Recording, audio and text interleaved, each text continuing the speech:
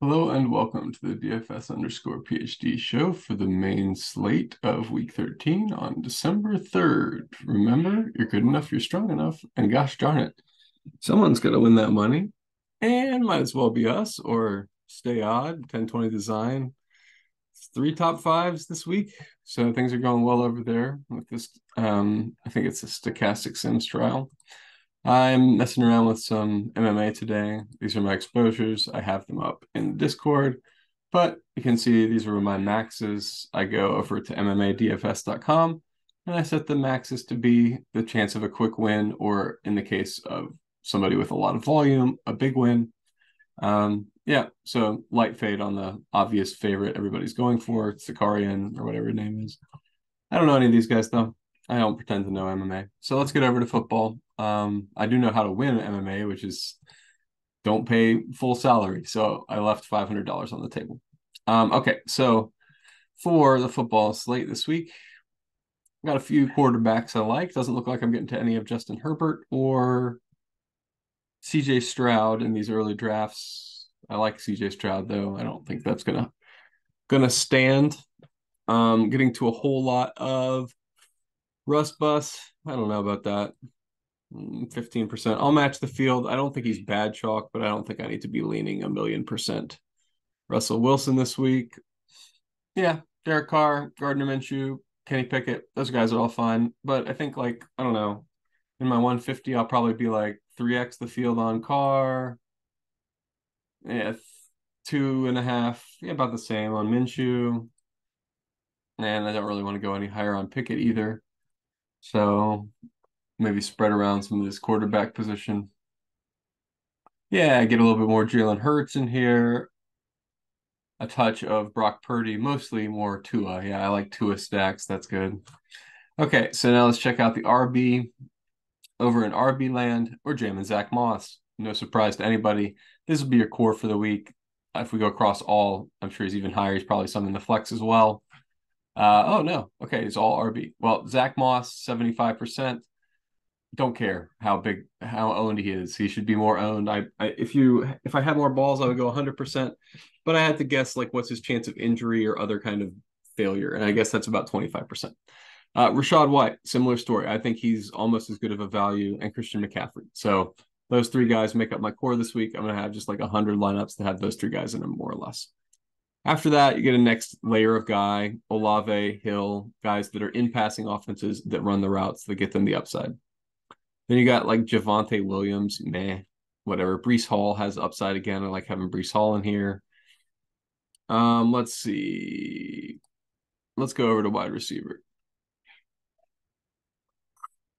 Yep, some Guyton. I'm a big Guyton guy.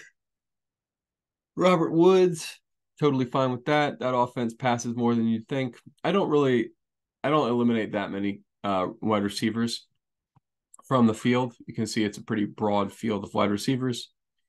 Um, let me look. Guyton, A.T. Perry, nobody's going to go back to him after last week. He's probably still fine. DeVante Parker, Alec Pierce, Julio Jones, Chris Moore. These guys are all kind of like, maybe I should have unclicked them. So I don't know. Uh, just for a 150, I kind of leave them in. For my 20, I'll probably unclick some of these not as good wide receivers that uh, are still fine to be there as part of the stack, but um, yeah. Oh, tight ends. Haven't talked about tight ends yet. Trey McBride, Logan Thomas, Brevin Jordan. Are we still not? Am I still having to pro- project him that way? What's going on? Juwan Johnson. Okay. So it's wait, who's the Houston tight end that they're projecting? Because Schultz is out. I'm projecting Brevin Jordan. They are projecting nobody. Is that am I am I reading this correctly? So their projection is has it been updated to include that Schultz is out? Yeah, they know Schultz is out. So they're projecting, I guess, Houston to have no. Let's keep scrolling until I get to a Houston tight end. Yeah, they're projecting literally no tight end for Houston at this time. So I'm going to project that Houston have a tight end, and his name's Brevin Jordan maybe I should be projecting a different guy.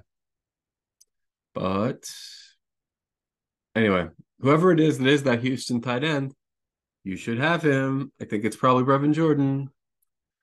Do they not have anybody else on the roster? What's going on here? I don't know how to scroll by team. That's my okay. Yeah, Teagan Quitoriano or whatever. I don't understand how you could not project Brevin Jordan for work this week, but they're not. So you probably should. Uh, I should also probably limit that. Oh, 15%. That's fine. But yeah, tight end's pretty gross this week. You can see like yeah, Sam LaPorta is fine, but tough to get to because he's appropriately priced now. And you know the rule on defense. I always follow the rule because defense doesn't go like you think it should every week. So I just cross out the highest owned defenses because two of them aren't even that good. Like the Panthers and Patriots are like 10% and bad this week. So Bucks and Falcons are more than 10%, but also good. But I don't care because they're not the best. The Dolphins are the best defense. I'll take Dolphins. And then a whole bunch of these other ones. And I'll still cross out a few of them that I don't like, you know, like against Miami. Don't think that's a great upside upside defense. Um Eagles actually do seem pretty good. Well, we'll see. At 1%, 0.5%. Oh, whatever. I can never figure out what people are doing with defenses. I won't try today. I should probably go take a nap, is what it sounds like. Um, but instead, I'll probably just start thinking about NBA. But yeah, so this is my overall setup. I think I already said my core. Yeah, Zach Moss, Rachaad White, and Christian McCaffrey. Looks like Olave and Hill are also pretty much core level. If you want to start from there, I don't know if they can all go in a team together or not. Now that I'm looking at the actual value, though, I probably got to extend Moss up to 80 and emphasize the difference between him and Rachaad White, who is not quite that good. And then McCaffrey should be my second highest owned guy. Yep, I like that because so Mc, yeah, Zach Moss is just by far the best play of the slate, and I'll die on that hill. Um, and really, the next level of core guys is just kind of like McCaffrey because you have salary, and then Rachaad White because you want volume. So those are your guys. Um, there's plenty of other ways to go. I've already told you the quarterbacks I'm going to.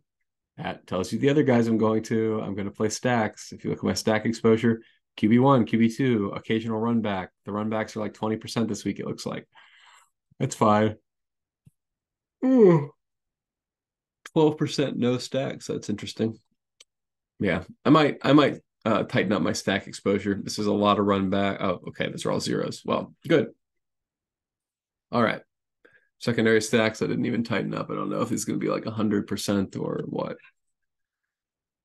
Okay. 80, 96. Okay. So it's almost 100% double stack. Seems a bit much, but that's okay. I'm not going to undouble stack stuff. Okay, well, I think that says that about does it for the week. I told you I can uh, probably tighten this wide receiver pool up a bit. 31's a lot. Some of these guys are pretty bad here at the bottom. Yeah, like what what was going on here? Did I do? I don't even understand what my rubric was for eliminating people from contention this week. Possible I just didn't look at the wide receiver screen, forgot to, or decided not to. Looks like we have a lot of questionables that are going to be a, an important part of this week as well for wide receivers. So pay attention. I don't really think any of these guys are actually questionable though. So oh, that is my assumption as I yawn at you and make this video. Okay. Yep, I'm fine with every one of these plays that's in there right now, though, and probably just leave them in there because who cares? It's a 150 max, and that's how you get different in a 150 max is you sprinkle you sprinkle all these guys that are five to ten percent, and you sprinkle them five to ten percent worth because who knows? Maybe it's A.T. Perry week, maybe it's Jaylen Waddle week, whatever. Got to have a little piece. I, I, agree. Yeah, I'll probably just leave the, the big pool for the 150, and then I'll clone it, and I'll make that new pool. So I'll call this one 20 max or 150 max, and then I'll build the new pool and call it rename him 20 max. And in the new pool, we're more restrictive with our wide receivers as such. So probably Papa, what do you think? Uh, minimum of okay. So where's the value end? We need to allow value of. Why is Brownlee completely unowned? I don't understand what's going on there. Oh, oh, okay. So I do. I added an ownership filter for people who are owner owned more than 0.1 percent. Okay, that's fine. but it does mean that whenever there's an ownership failure, you're going to have that guy excluded from the pool. Oh, whatever. I think that probably a good minimum would be like eight. I don't want any of these guys that are below. Well, Curtis Samuel below eight. What are y'all doing? What is this projection for? What? Washington at Miami. What is this whole game projected for? Washington at Miami. You got Washington projected for 20. I don't know, guys. Miami scores a lot of points. I don't think they're gonna lose by 10. I'll I'll put 24 points for Washington. And let me go over here because shocking to me to project Curtis Samuel for freaking no points like that. I mean, still got to project it for nine. I'm gonna have to do some main. Curtis Samuel might be their wide receiver one. I mean, like him and Dotson definitely better than Terry McLaurin.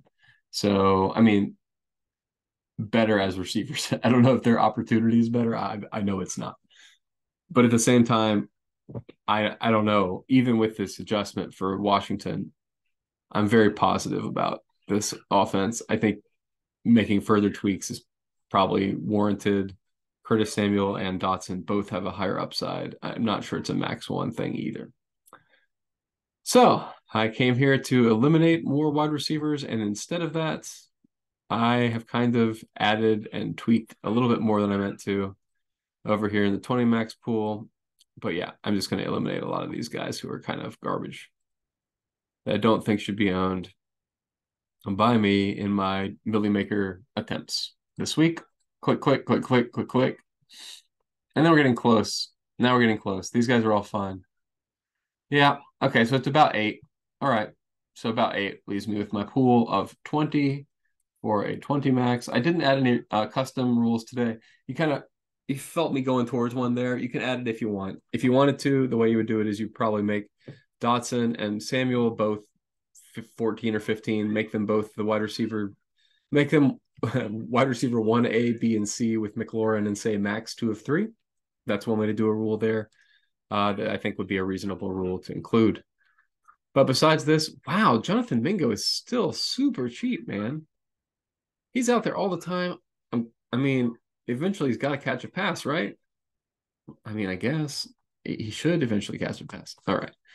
That's about all I got for you today. Make sure to keep up with us on Twitter, join the Discord, and um, remember, you're good enough, you're strong enough, and gosh darn it, someone's got to win that money, and it's a million dollars. It's serious money. Might as well be us.